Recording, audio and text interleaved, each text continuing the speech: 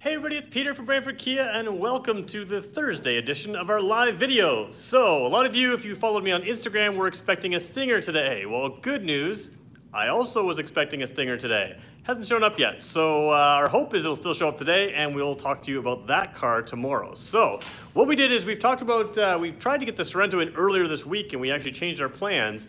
The reason we're talking about Sorento today is because you cannot beat the deals on this Sorento. So, 0%, for 84 months is in addition to Kia making the first six months of your payments. And just as a little treat for you guys, this is a model that is brand new in its last model year, the 2020. This is the black edition. So we're gonna get the camera to focus properly on the black trim lines. Uh, if you're tuning into this video and you're not watching live, skip ahead to about the three minute mark and we'll get launched into things. We're just gonna let our audience build. But if you wanna know how to join us live, give me one second to show you how to do that. Also, don't mind Kevin over there. He's joining me today. He's going to be doing some painting in here, and uh, he's uh, been in a few of our videos there, so he's almost as popular as our teddy bear. All right, here we go. If you want to watch uh, our videos live, especially the Stinger video tomorrow, uh, go to Brantford Kia on YouTube. So just search for Brantford Kia, and when you refresh the page exactly at 2 o'clock, which is what we're doing right now, one of two things will happen. Either you will see the video here, which you will not. So what we're going to do is we're going to hit this little videos tab right here, and when that happens, you will definitely see our live video link. So there's our live video. Okay. Kevin, there's been a suggestion to throw you in the trunk instead of Teddy. No, I'm just kidding. I'm more cuddly. Yeah.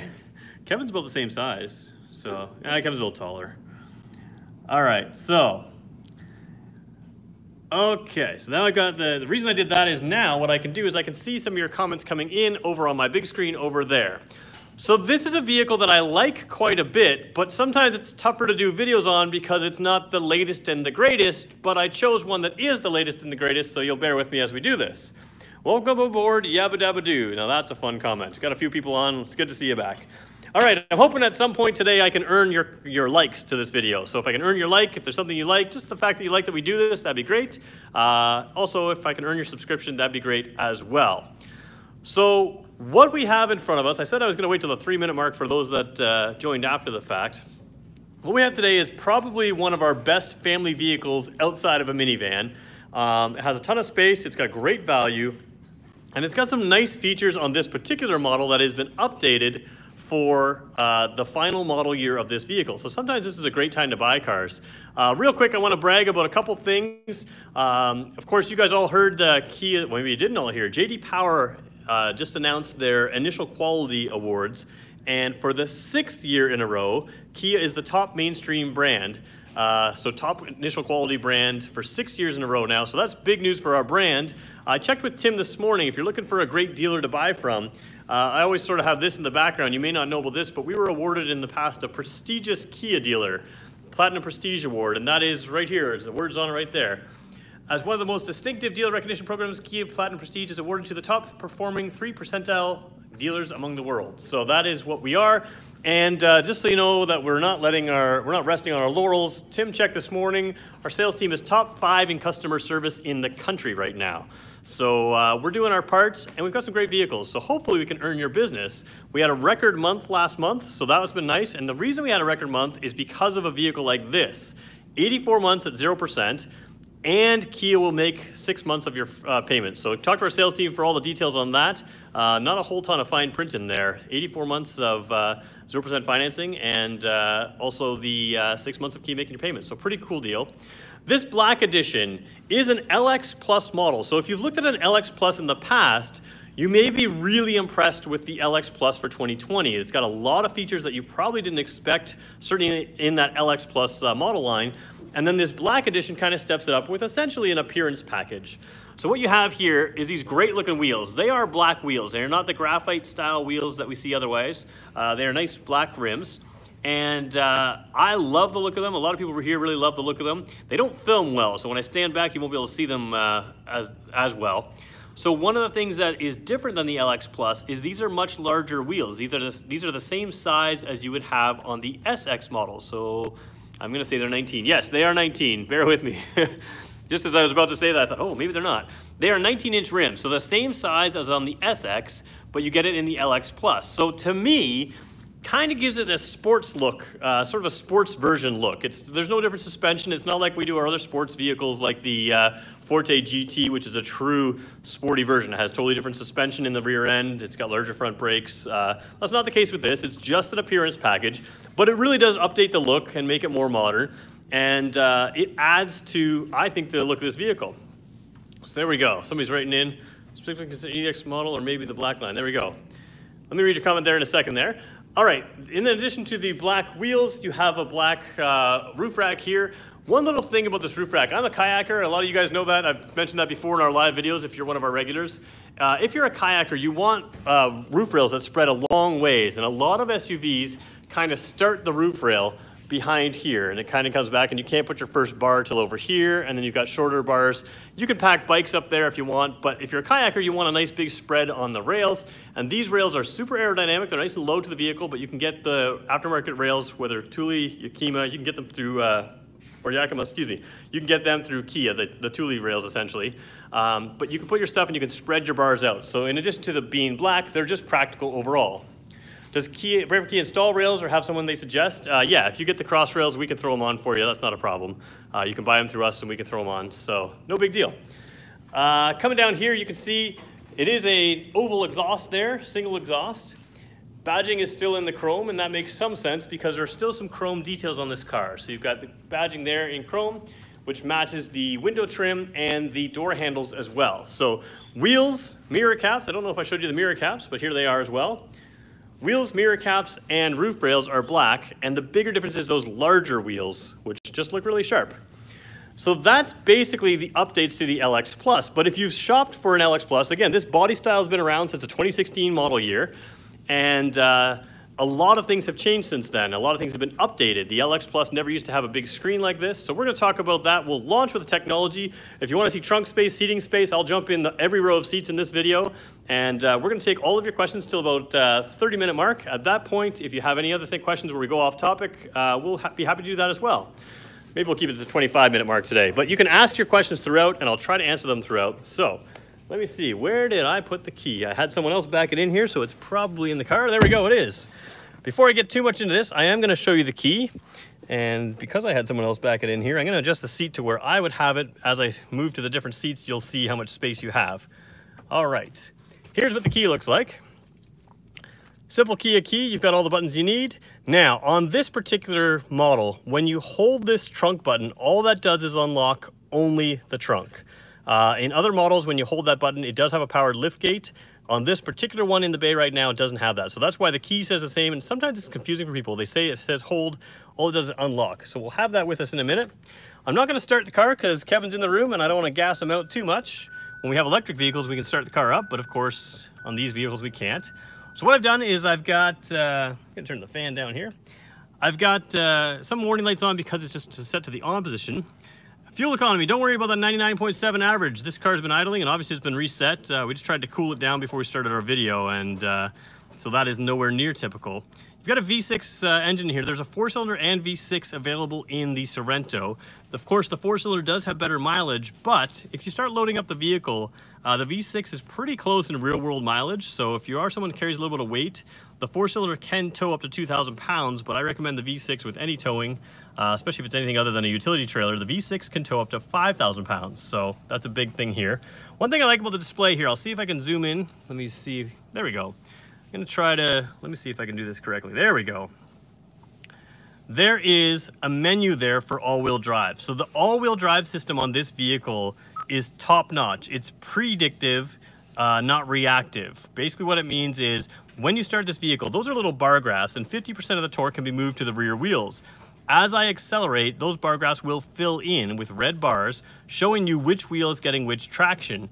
It will start off in all-wheel drive and move towards front-wheel drive, where a lot of competitors start in front-wheel drive, and then if they slip, they move to uh, all-wheel drive. And the problem with that is, if your front wheels have lost traction and are slipping, giving the rear wheels traction can often push you further off course, uh, so this is a way better system. It's called uh, Dynamax all-wheel drive, designed by Magna International, which is a Canadian company. It's designed for Canadian winters. And in the 2020 models, you can see your all-wheel drive system at work from the driver's seat instead of just feeling it. So you know where you've got traction and where you don't.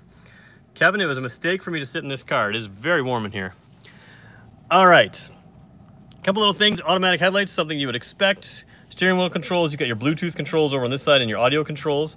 On the far right side here, you've got your cruise control on the far right, and this system of controls right here controls that display that I was just showing you right there. Moving across over here, when I mentioned the 2016 model, you didn't have something like this. Throw the car in reverse and you've got a huge backup camera. Also a very clear backup camera. When you're filming a screen, you can never have the full clarity, but you can see all the lines in the floor there. And uh, this is a nice clear backup camera. Makes it safer for a little bit taller vehicle. You can see directly behind the vehicle, especially for a family vehicle. You can see if your kids' toys have been left behind. Uh, I've been known to drive over a scooter or so uh, without a backup camera in my house and I've never done that with a backup camera. So uh, there's my advocacy for that. Quiet mode is an interesting thing that moved to this vehicle from the Telluride, and nobody talks about it. So I'm going to hit that for you for a second. Let's just turn on the radio now. I'm inside a building where there is not um, good radio signal. This is sort of radio um, protected. But we'll turn it on. We'll turn the volume up to number nine or so. Watch what happens when I hit quiet mode. Hit the quiet mode, turn it on. What it did is it decreased the volume to 7. I'm just going to turn it down overall. It decreased the volume in the front speakers to 7 and it turned off the rear speakers. So why is that good? One, if you have kids that are sleeping in the back, sure, that's good. Why I like it is if you have kids that are maybe teenagers and they want to listen to their own music uh, through their iPods or whatever else they've got, their own device, in their earphones, they can listen to their earphones without having to listen to your music. You can listen to your music out front. So that is new in the Sorento. Uh, something that a lot of people don't know about. I moved it over here to this uh, menu here because I think it's something that uh, people could see and it's maybe better than some of the other menus in there. Coming down here, automatic climate control. Again, in an LX Plus, this is not something that was always around. So you can see somebody set it to low and that's fine. I'm gonna bring it to 19 degrees and let's say my passenger is too cold, we're gonna bring them to 20 and a half degrees Celsius. Uh, dual zone temperature co control is great. You also have a rear AC unit. So a rear air conditioner to give you extra cooling. So just like a minivan, this is a larger vehicle, you get that extra cooling in here. In the winter, rump roasters, three levels of heated seats, which are gonna turn off immediately because I don't need those. Heated steering wheel as well. And of course, passenger also has a heated uh, uh, front seat. Throw the car into drive just to get out of the way of the camera. This opens up and wireless phone charging. Now that is a huge deal. I my car has this and I never really thought how big of a deal this was, but of course all of our phones, if you're like me, you're a heavy phone user, uh, they always run dead throughout the day. Every time you drive anywhere, you put a little bit of charge back in, you'll find that your phone is way more charged than it ever used to be. Um, almost never, I never have issues with running out of battery because I just drop it in there and uh, yeah, your phone just charges instantly. If you want to connect other devices, you got two 12 volt ports. And if you connect to Android Auto and Apple CarPlay, which this car has, you connect the USB through there. You can hide all your cord and everything else through there. And now you're bringing navigation to this big screen through Android Auto or Apple CarPlay. I like to use Google Maps. A lot of you like to use Waze. The big point is five years from now, if there's an entirely new mapping app that takes over the world and is the best one ever, you'll be able to use it because Android Auto and Apple CarPlay will be able to bring it towards uh, your, your screen here. You also get um, streaming music services. Uh, you get uh, text by voice, a lot of voice type operation of all of your, or many of your apps. Moves up to here, keeps you legal and keeps you safer, which is a nice feature there. One thing I didn't mention, the transmission. Again, if you're comparing this to a 2016 Sorento, you may not notice that this transmission is now an 8-speed transmission instead of a 6-speed.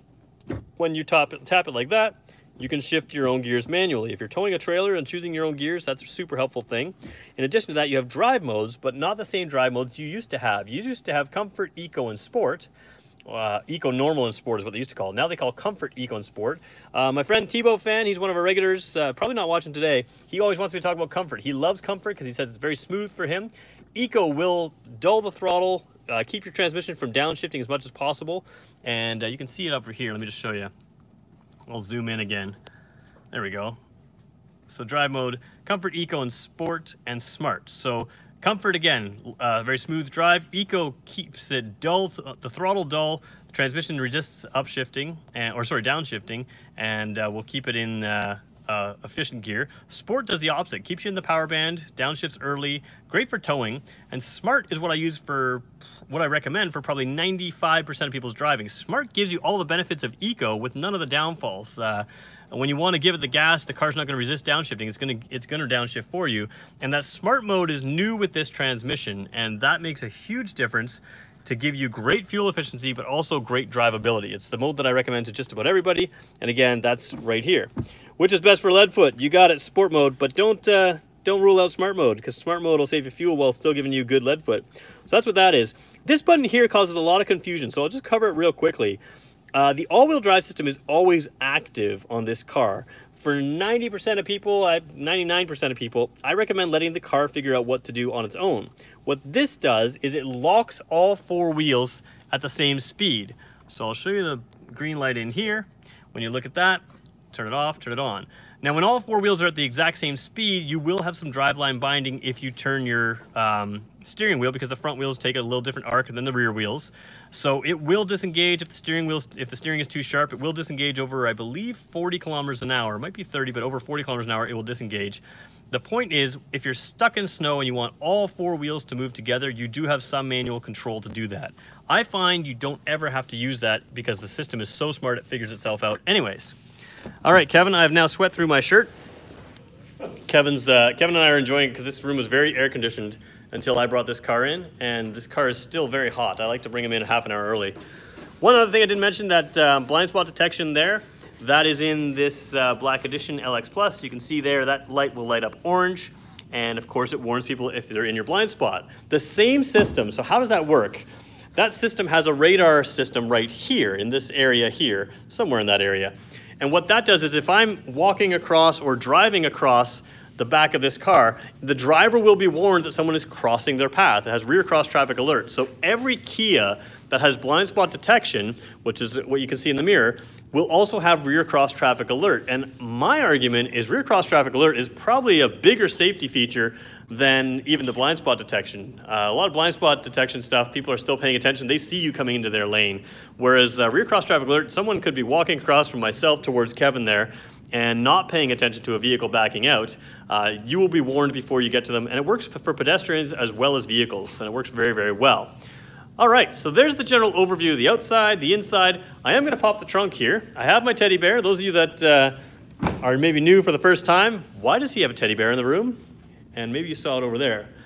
Teddy bear over there, looking sad, is my trunk measurement tool. Now you'll see right now, I've got one seat up and one seat down. We're gonna show you this in a second. I probably should have put the other seat up, the other seat down, but uh, I've got some floor mats in there as well. I'm gonna show you how much space you have, and I'm gonna do that using my teddy bear. This is a better tool when I have multiple cars in the same room. You can sort of see one compared to the other. Teddy measurement tool, TMT, yeah, exactly. We've been trying to name Teddy for a while. So when I put Teddy in here, usually what I do is I lay him sideways. You can see he's about five feet tall. Um, he's a little squished up, but uh, so he's certainly hanging out the back. But there's a lot of space in here. I'm gonna fold this seat down. I'll put it back up in a minute. Give me one second. I need two hands. There we go. Okay, so when I fold the seats down, we'll put Teddy the way we always put him. Those middle row seats, they do move forward, they do tilt quite a bit actually. So they are in a sort of a standard seating position. You could create a little bit more space cargo-wise, or you can make it less space and more comfort. The thing with Teddy though, is he's got a ton of space. I mean, a lot of you know that if I stick him in a Kia Soul, from there to there is pretty much the end of the trunk. Seltos is about here, um, Sportage is about here, the Sorento is all the way back to here. You get a lot more space in the Sorento, and you have a little bit of underfloor storage over here. If it was a five, uh, some of the uh, five passenger models had underfloor storage here, but this is a seven passenger model, so I've got those seats that I will show you in, a, in one second. So we're gonna put Teddy up over here. Oh, I should also point out, those vents right there and this control over here control that rear air conditioning. So if you have people in the back and you're maybe freezing them out because you're not paying attention, they can control the fan speed themselves and uh, turn it on or off uh, so you can turn it on and allow them to control some of that speed in their own control. If you want to put the middle row seats down, you have handles right there. So you can put that one in. It's got some plastic, shipping plastic on there still. That's why it's a little shiny. Left hand is over on here, same type of thing. So you can fold all those seats down. What I am gonna do is switch these car mats over. We're gonna take Teddy out of here again. I do wanna show you headroom in all the seats, uh, not just a couple of them. So we'll just put this up. You can see how easy this is gonna be. I'm gonna pull right here, and that seat's a little reclined so it rubs. Still got the shipping plastic on here as well. Take that off for a second. We'll throw that in the corner and like, uh, we'll blame the mess on Kevin. And there we go. So you've got trunk space still that's usable, but not nearly as much, of course, with the seven seat uh, vehicles. So if you need seven passengers, I recommend the Telluride or the Sedona if you're always taking seven passengers. If you need jump seats in the back that you're gonna take some people around every now and then, or you know, you don't always use the back seats, the Sorento's fine. Now, how fine is it? How good is it? Let's go take a look and see what I mean. They're not really jump seats, as I call them, but they are, uh, they are uh, smaller than the middle row here. So what I'm going to do is just uh, hit this button just like the Telluride here. And that moves the seat forward like that. I'm going to climb into the back seat. Okay, I'm to leave that seat forward just because I've got one hand on the camera and I don't want to mess it up. And I think I can prove my point here without doing that. So real quickly, if you look at my knees, my knees are, my feet are behind and they do fit underneath these seats right here. Uh, no problem there. So you even size 11 feet like mine, they fit. Uh, not with work boots. My knees are not on the seat, so they're not on the seat bottom. The seat bottom is short, but I do fit in here. I'm about six feet tall, uh, seat at a comfortable position, rolled back. Now again, these seats can slide forward, and they can also tilt forward, so I'm comfortable in here. Uh, there's no video of the Sorento LX Plus four-cylinder. Actually, we do have a video of that, but I'll link it uh, to you later. Uh, if you search for Sorento, we'll, we'll find one for you. Okay, I'm in the third row. Again, six feet tall, let me go to the side here. Oop, come on, camera. Doesn't like me. Gonna switch hands. Oh, you can see the sweat on my face. Won't show you my shirt. Anyways, you can see if I lean back, I do touch the wall. But when I sit comfortably up here, I have enough room for six feet. Could I ride in here for an hour? Yes. Could I ride in here for three hours? Probably not, not comfortably.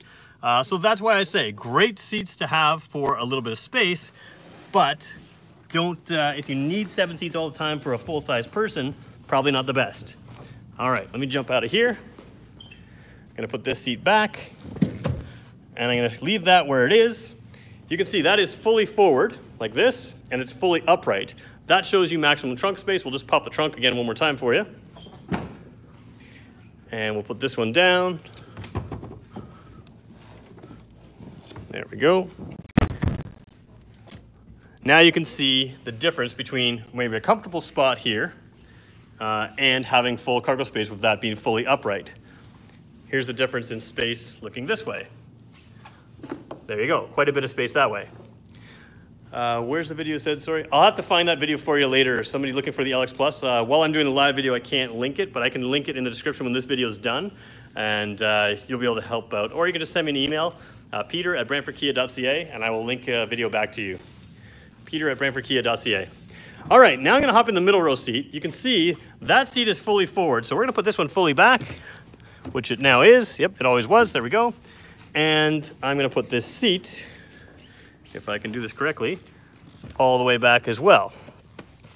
Look at the difference between fully upright and fully back. There's upright and there is back. This is way too reclined to be actually comfortable for me. But I'll show you I'm almost sleeping back here. I'm always laying down. There's Teddy over there. I'm laying back way, way too far. So I'm gonna put this where I'm comfortable, and you can see headroom is not an issue when I do this. But if I put it where I'm comfortable, there you go, that's a comfortable spot. Now the big difference is, headroom, I've got tons of it still, like quite a bit. Again, I'm six feet tall. Legroom, this seat is tilted a little further back than I would need and I've still got tons of space and it's also in its lowest position. I did that to show headroom and we'll show you how much headroom you can lose, in other words, how much height you can gain when I get to the front seat. But you can see tons of space here for a six footer. You've got ports back here, 12 volt and a USB port. So this one's USB and the other one's 12 volt port. And you've got vents back here. You've got pockets in both doors here. Soft touch armrests everywhere. The center seat has armrests with uh, cup holders in it as well, which I will try to show you right now right over, whoops, come on camera, there we go. Armrest and cup holders in there. So you've got a lot of comfort space, a lot of uh, practical space in here. And again, I fit easily. So five people in this car are very comfortable, even if they're six footers, and tons of space. The ability to move that seat forward, back, and tilt it quite a bit. Uh, road trip car, this is a great car. Now, we mentioned headroom in the front. The seat is fully down, and it is leaned a little too far back for me, but I can show you that if you're a larger person. Uh, here we go. I'm gonna go all the way back because let's pretend you're a little taller than me. If I go back to here, I'm six feet, I can't touch the pedals, even tippy toe, I can barely touch them. So if you're really tall, I mean, how much is that? Six, eight inches or more? Um, and I can barely touch the pedals if you look at my feet here, which everybody loves to do. I need to get better shoes if I'm gonna show my feet on camera. I can just touch it, I can't floor it, I can't brake enough, uh, but there we go, that's six feet. Now, we showed you all that space, remember that space with my head, because now I'm moving the seat forward a little bit, and I'm gonna move it up a lot. We're just gonna move it as big up, as high up as we can go, and we'll show you what we're doing. I'm already sort of halfway there. Still rising, still rising, still rising, still rising, and now I've stopped. And again, I would move a little forward. My head's basically on the ceiling. Even when I want to go full height as a six footer, when I put the feet where I'm comfortable, I've still got a little bit of headroom there. So you can move it really high, but also if you're a shorter person, and I always sort of forget to show the shorter people view, um, this is a lot of uh, a lot of adjustment here. And you have a tilt telescopic wheel. So my legs are still not on that wheel, but if I put it down, pull it forward, there we go. It's right down to my legs almost, just finger widths in there. And it can move a long ways up, so a full fist up there. And it can move a long ways in if you want to stay away from that airbag because you have shorter legs. So a lot of adjustment to fit lots of different drivers. Uh, the Sorento's perfect for sharing a vehicle with. All right, so we are at 26 minutes. We're gonna see your questions. Uh, I know there's a few of them came in that I missed, so let me just jump to them. Let me just see here. I always like the point, you mentioned door extensions. Oh yeah, okay. So one thing I didn't mention, so um, the Sorento has a cool feature that, uh, memory seats for multiple drivers. Great question, Aaron. So no, not on this trim level, but yes on the Sorento. So EX and above have that. This is an LX Plus and it doesn't have that. One thing I always mention with this car and the Telluride, in a taller vehicle, what happens when you get out, especially as shorter people get out, they tend to get out with their legs and their legs brush against the side of the vehicle, which is not a big deal. Um, but it is a big deal if you live in Canada because there's a lot of salt and dirt and other stuff that sit here on the door sill. Now, look what we do to solve that problem with this car. Shut the door down here. That whole door wraps around that section there and it's sealed. And you'll notice that seal has some dirt on it and so does the car down to about here. That's all the seal that's on the dirt. It covers right around. So this is an area where if you get out of the car and you brush your pant leg against the car, it's completely clean. So that is kind of a smart thing. Uh, they do it on our taller vehicles like the Sorento and the Telluride, and it makes a ton of sense because you don't end up with dirty pant legs. And you will be amazed if you start walking in an office environment how many people have dirty pant legs from exactly that reason in the winter. So somebody just asked one question. Uh, would, would, this be more related to the minivan? So same engine as our Sedona. Uh, that's a big difference uh, or big similarity there. I always sort of think that people tend to, price-wise and everything else, they go minivan or Sorento. Telluride would be a more luxury step up, so it is a little bit bigger. Telluride has eight passengers, so does our Sedona. Uh, so great question. A lot of people do compare this to the minivan. The difference is, although you have the same engine and transmission, this one can tow 5,000 pounds with that engine and transmission, whereas the Sedona can only tow 3,500 pounds. So you gain interior space, you lose some towing and practicality, towing capabilities that way. Uh, just depends on what you're looking for. They do drive a little bit differently, but again, uh, that and this one of course has the all-wheel drive. So if you want that, look back there. I want to be. oh, the connection was bad. I'm sorry, the connection was bad. All right, I'm going to show you the lighting, and then we're going to probably wrap this video up. Tomorrow we are expecting the Stinger. Uh, many of you are wondering about the uh, upcoming Sorento. It is in the works. It could be here as late as January. It is delayed compared to what we thought. So uh, at the 30 minute mark, we'll go off topic. We're just about there. Before we get there, I'm just gonna show you the lighting. Car's beeping at me. All right, it's not showing up perfectly on camera, but let's see if we can get some light. There we go. This LED light is a sort of signature uh, light on this vehicle. This particular one has the nice sharp cutoff projector beam headlights, but they are halogen lights, and they're the same thing with the projector cutoff, uh, sharp cutoff beams for the high beam. So high beam, low beam, separate lights there.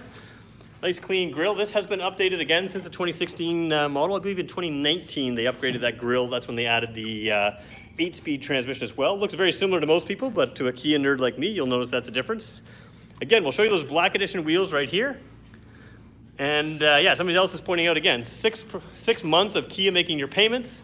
Uh, oh, and just uh, so all Sorentos, to the best of my knowledge, all Sorentos right now are six months uh, of Kia making your payments and 0% for 84 months.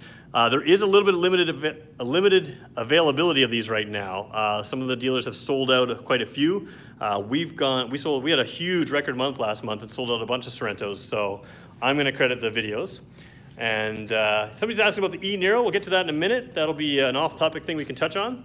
Here's the rear lights. Again, they were updated around 2019 as well. A lot of more detail in these lights. Some of the other manufacturers uh, don't think to put some of that cool styling in there, and they just look a little bit more expensive at night. All right, I'm gonna jump over to the questions, see if there's any more questions about this vehicle, and then I'll answer some of your off-topic questions. Do all the different models have different update intervals? Yes. Um, short answer is yes. We never introduced two vehicles at the exact same time. So for 2020, the Soul came out as a 2020 model, which actually came out in 2019. Uh, 2021 Seltos is already out. Uh, the Optima is going to be the next replacement, which is going to be called the K5. Probably looking around Christmas time, fourth quarter, anyways, for that one. Sorento will be just after that. Sedona will be sometime way after that. Uh, Sedona is probably another year away. But this is our, uh, this was going to be our next model, but it sounds like some production delays with this COVID stuff. It looks like we'll get the K5, which is the Optima replacement first. All right, uh, 2021, okay, I think I answered that. When is the 21, 2021 Sorento coming out? So again, K5, the Optima replacement will come out first. That's fourth quarter in Canada. I know in the States they've already done a lot of marketing material on that. I don't have Canadian data. I spoke to head office about that Canadian data today. Uh, they're gonna see if they can get it to me as soon as they can, but right now they're not ready to release anything officially. So I don't have any information on that K5.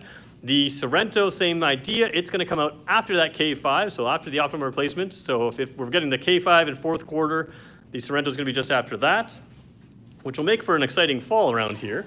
And uh, so that's the information that I have here.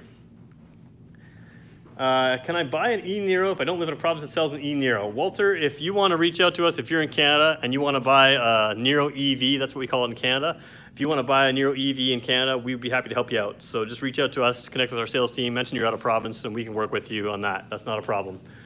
Okay, what else we got? Let me know about my question at 217. So, Niran Jen, you asked your question at 217. I can't go back by time, but if you let me know, oh, black edition is really good, however, on this, how much of an impact is without solar glass windshield? Oh, okay. Um, so yeah, so I believe the windshield is solar glass. There is a, um, a thicker glass in some of the upper trim levels of Sorento. So keep in mind where the Sorento competes. The four-cylinder Sorento, even though it's a mid-size SUV, price-wise competes with a lot of our competitors' small SUVs. So you get more space, you still have four-cylinder efficiency, but you get that. In those models, they have a little bit uh, thinner front glass. The same thing you would expect in every, every other uh, uh, small compact crossover. As they move up market, the SX Sorento has thicker windshield, sound reducing windshield, and a sound reducing side front windows.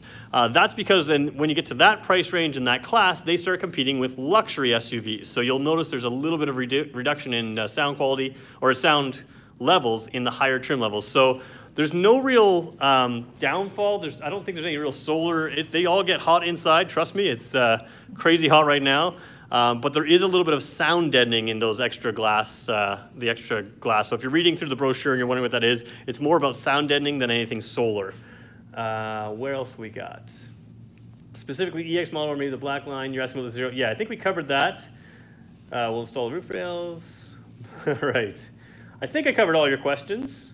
Uh, off topic, does Kia Can have access to stylized K logo badges that are used on the same Korean cars? So yeah, a lot of people put uh, fancy sort of K style badge over here. That is not something you can get through your Kia dealers. It's sort of an aftermarket only. Uh, there is a rumor that Kia, well, there's not a rumor. Kia's been said to be updating their logo. Uh, they've released sort of what it will basically look like on some of the concept cars. We have no logo information at all here in Canada, so um, there will be a new logo coming out for Kia according to all the magazines I've read, but according to Kia Canada, we are status quo for a while. So uh, there we go. Um, yeah, I think that answers some of your questions. Let me just see if there's anything else here, and if not, yeah, you can buy them online. Yeah, that's where you have to buy the, that K-style logo. Um, don't buy the cheapest ones. We've had some people buy really cheapy ones and they start to peel. Um, obviously, that's not something we can take care of for you. So there we go. I think we've covered everything. So my goal tomorrow is to have a stinger in here. It's been a while since we had a stinger. Uh, I particularly like the Stinger. I have a lot of history with the Stinger. When the Stinger was first launched in the States, uh, I was in LA doing a film shoot with Kia Motors USA, and uh, we did a, a, couple YouTube videos with them. So uh, I've helped introduce that car to the North American market, and we want to talk about that car. We were supposed to do that today, it just didn't show up yet. So as long as it shows up, we're going to put it in here tomorrow, and uh, that'll be exciting. Next week, Friday, a week from tomorrow, we have a wedding here. Uh, the, what was supposed to be the wedding of the century, our boss's daughter, was getting married next Friday. So um, a week from now, we'll probably do a little bit of a live stream uh, around the wedding party uh, when, it, when they swing by here because COVID times, weddings change. So that's sort of our plan for next Friday or tomorrow and then a week from now. And uh, you've got an announcement to come down to LA. I don't think I'll be back anytime soon. I'm staying out of your country for a while, no offense. I'm going to stay right here and, and try to keep COVID free with just Kevin and I in a room, socially distanced. All right, uh, that was fun. If I haven't earned your like, um, hopefully I can get it right now. I didn't mean to insult anybody down there. I just I feel very safe in my, my nice big office here that they made for me. And we started doing these videos during COVID times, and I was able to sort of isolate with all of you in here. So uh, everything, yeah, everything's fine down there, exactly. All right, so we're gonna head out. Hopefully I can earn your like. Hopefully I can earn your subscription. Tomorrow's gonna be a fun video. I really like talking about the Stinger. Uh, we haven't had one in stock for a little while just because we weren't sure about inventory levels during COVID. Uh, we're bringing one back in. It's gonna be fun. It's gonna be bright red. It's gonna look great. So we'll see you tomorrow live, I hope. I like Friday videos because uh, it's Friday. Friday's more fun. Thanks everybody for watching. We'll talk to you tomorrow.